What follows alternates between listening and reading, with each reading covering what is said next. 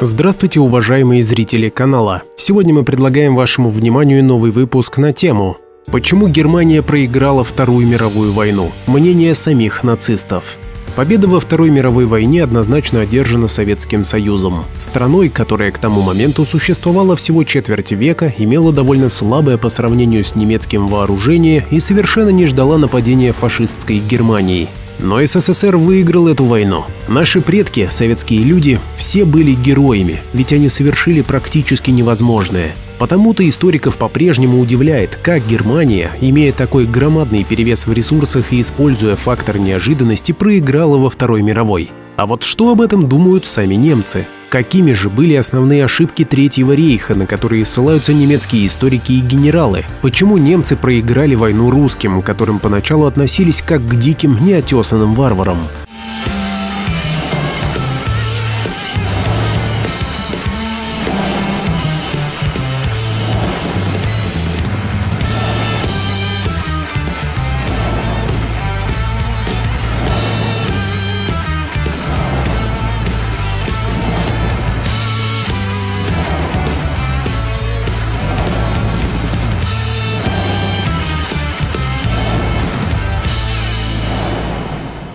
О факторах, которые способствовали победе, сказано много, при этом все же мало внимания уделено причинам поражения вермахта. Сейчас становятся доступными материалы, ранее державшиеся под грифом «секретно».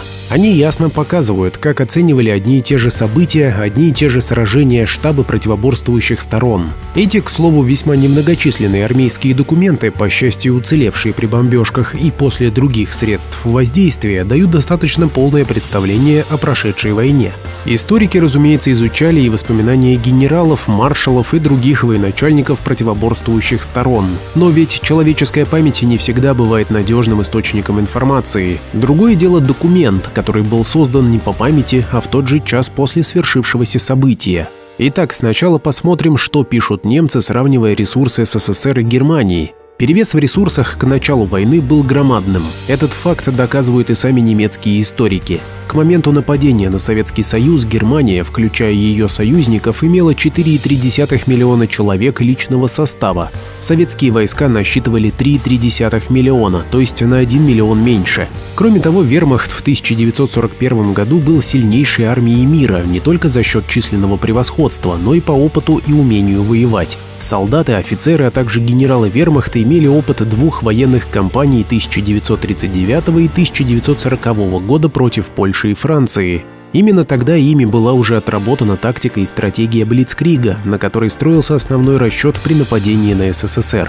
К июню 1941 года немцы у границ страны Советов собрали не только вермахт, но и армии союзников со всеми вооружениями, доставшимися им после бесчинств в Европе. Красная армия, которая подросла числом со времен гражданской войны в 1939-1940, не могла проводить мобилизацию, чтобы не спровоцировать нападение немцев. Немецкие генералы очень рассчитывали на лето, максимум осень 1941 года. Они хотели до наступления холодов завершить войну с СССР, полностью подчинив эту страну. Воодушевленные быстрым захватом Европы фашисты шли на Дикий Восток в надежде, что через пару-тройку месяцев вернутся домой с богатой добычей. Но этот главный этап войны не закончился ни осенью, ни зимой, перетек в 1942 и последующие годы. Гитлеровцы не смогли взять ни Москву, ни Ленинград, война затянулась. СССР накопил силы и дал захватчикам полноценный отпор. Именно на эти колебания жаловался немецкий генерал Вальтер Шальдебалье, отмечая, что неуверенность командования сыграла ключевую роль в войне.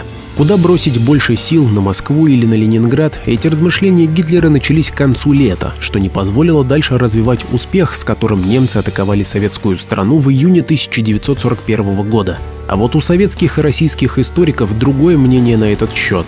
Немцы еще до колебаний своего начальства значительно отставали от намеченных ранее планов по захвату территории СССР.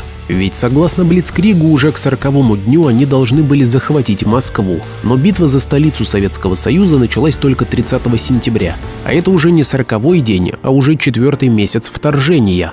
Завершилась же эта битва 5 декабря 1941 года отступлением фашистов. Захват Ленинграда был важной задачей стратегического характера. Захватив порты этого города, немцы бы могли доставлять оружие, припасы и солдат по Балтийскому морю, а не тащить через всю Восточную Европу по плохо развитым железнодорожным путям. Поэтому и не бомбили долгое время порт в Мурманске. Он должен был стать для немецких войск на севере базой, через которую пойдут войска и техника. Но поняв, что это сделать и не получится, немцы решили уничтожить Мурманск, потому что именно туда шли грузы для СССР по Ленд-Лизу. Гитлер был большим авантюристом, но не имел серьезной военной подготовки и таланта как военачальника. Это тоже повлияло на ход войны. Не всегда авантюры заканчиваются успехом даже у самых талантливых. Тем более, когда речь идет о СССР. Вспомнить хотя бы умелого и во многом выдающегося полководца Наполеона Бонапарта. Разве он смог захватить Россию? Нет. Помня неудачу Наполеона, Гитлеру не следовало делать такой шаг, глядишь, и пожил бы подольше. Ведь война – это очень сложное мероприятие, где нужно с умом сочетать стратегию, тактику, экономику и политику. Да, война тоже авантюра, но на авось повезет рассчитывать не стоит. А Гитлер это упустил из виду. В дальнейшем ситуация только ухудшалась. После того, как немцы не смогли взять Москву, Гитлер, виня в неудачу своих генералов, стал единым главнокомандующим своей армией. Военный историк Курт фон Типельскирх пишет по этому поводу. Но гибкость, необходимая в такой масштабной войне, у фюрера попросту отсутствовала. Он мало учитывал длину фронта, плохо владел логистикой, когда нужно было быстро перебрасывать войска на важные рубежи. В итоге немцы бездарно тратили свои ресурсы, собирая их в ненужном месте в ненужное время и оголяя важные участки фронта. Бездорожье и морозы – вот первое, на что указывали сами немцы, объясняя свое поражение. Разумеется, они знали про это и раньше и готовились воевать в условиях бездорожья и холода, но недолго, рассчитывая завершить свое дело еще до наступления глубокой осени, потому и недооценили все риски. Уже в октябре пошли ливни, началась распутица, и немецкие, да и наши тоже армии буквально застряли в трясине. Потому войска вермахта, легко захватившие Киев, не успели прийти на помощь тем войскам, которые пошли на Москву. Так немцы потеряли время, а русские смогли лучше укрепить оборону своей столицы. Серьезный урон гитлеровцам нанесли и морозы, и опять Гитлер забыл про Наполеона. Подмораживаться фашисты стали уже в ноябре, а зимой столбик термометра опустился ниже отметки минус 40 градусов. Гитлер был уверен в быстрой победе и легкомысленно отправил солдаты на восток налегке, без зимнего обмундирования, в конце 1941 года почти треть немцев обморозили себе ноги. Русские холода заморозили и технику, ломалось все. Замерзала смазка в стрелковом оружии, тормозная жидкость в технике, отказывали пушки. Однако стоит отметить, что зима 1941-1942 года была намного мягче, чем в 1939-1940 годах, когда советская армия воевала с Финляндией а 50-градусных морозов, о которых писал Гудериан, сваливая на это поражение под Москвой, в Подмосковье отродясь никогда не было. Немецким генералам вначале все казалось логичным. Если осуществить быстрый захват важных территорий, сельскохозяйственных площадей и производственных площадок, советская армия останется без вооружения и продовольствия, Действительно, СССР в начале войны потерял до 60% промышленных мощностей, при том, что изначально военных ресурсов было и того меньше. Но в считанные месяцы советское государство мобилизовало ресурсы, наладило производство в тылу. Заводы ставили в поле под дождем, и они работали. Люди, оставшиеся в тылу, сами шли туда, исправно выпускали военную технику и отправляли на фронт. Работа советского тыла во время войны была поистине колоссальной. Гитлер никак не мог это предвидеть, это пишут немцы. А вот Сталин знал, что советский тыл окажется сильнее немецкого. По плану вождя были призваны в армию сразу 14 возрастов, перемещены на восток страны более 2000 важнейших оборонных предприятий и 10 миллионов квалифицированных рабочих. И не всегда предприятия начинали работать в голом поле, и еще до войны строились цеха, подводились коммуникации, хаоса при перемещении оборонных предприятий не было, все делалось делалось по плану. Об этом хваленая немецкая разведка не смогла узнать, потому немцы и сочли все это чудом. Немецкие историки одной из причин поражения в войне считают, что Союз мобилизовал все свои ресурсы против одного фронта, в то время как Германия должна была помнить о границах на Западе. 145 дивизий были брошены против СССР, а 38 остались на Западном фронте. Но зачем тогда Гитлер шел на восток, если он должен был думать о тыле? Никогда в истории человечества война на всех фронтах не давала хороший результат. К примеру, те же древние римляне активно ссорили своих соседей друг с другом и старались подкупить часть врагов или заключить мир с кем-то, чтобы не воевать на два фронта. Но почему все-таки Гитлер начал войну на два фронта? Немцы утверждают, что перед нападением на СССР фюрер планировал заключить договор с англичанами. Заместитель Гитлера по партии Рудольф Гесс ради этого даже отправился в Англию в мае 1941 года. Договор о полном мире не заключили, но удалось получить от англичан заверение, что они три года не будут воевать с Третьим рейхом. Кроме того, все надежды Гитлера были на Блицкрик, но его сорвало упорное сопротивление советского государства. Больше шансов на победу во Второй мировой у немцев не было. Гальдер, начальник штаба сухопутных войск, писал об этом еще в 1941 -м. Самая роковая ошибка Гитлера совершена в 1942 году. Именно так считают многие немецкие военачальники и историки. Тогда Гитлер направил главный удар на юг СССР. Его поддержали генералы, которые были уверены, что легко захватят Сталинград и отрежут остальной союз от Кавказа, который был источником нефти. Без топлива у советских войск начнутся большие проблемы, а для вермахта это удачный шаг, потому как у них самих уже в конце 1941 года остро ощущались нехватки ресурсов. И снова генералы недооценили возможности советской армии по обороне Сталинграда.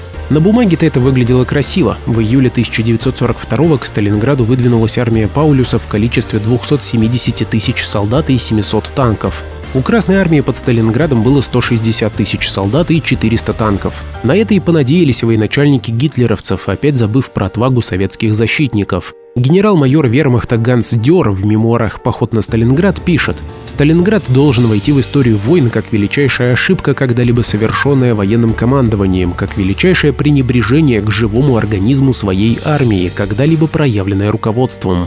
Именно под Сталинградом решена дальнейшая судьба гитлеровского рейха. Сама сдача в плен Паулюса сломила дух немцев, хотя после этого поражения немцы почти еще два с половиной года продолжали вести войну.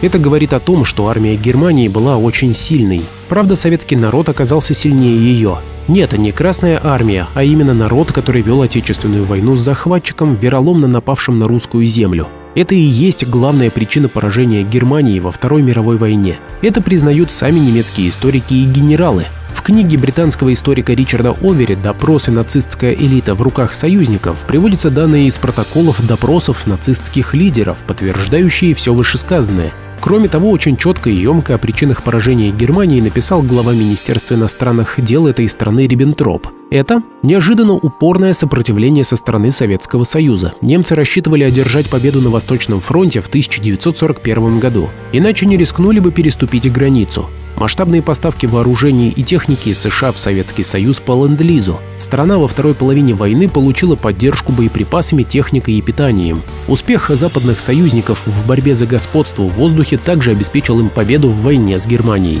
Таким образом, Германия в итоге оказалась неподготовленной к войне против врага, который сочетал американскую промышленную мощь со стратегической глубиной и боевым духом армии Советского Союза. Любопытно только, почему Риббентроп отметил только Запад в плане эффективности авиации, в советской армии также были успешные летчики и хорошая техника. А самое главное, если бы Гитлера не поддержали ведущие промышленники Европы, не спровоцировали на нападение СССР политики и банкиры Англии и США, жаждущие гибели коммунистов и передела сфер влияния, то не появился бы этот Третий рейх со всеми своими генералами.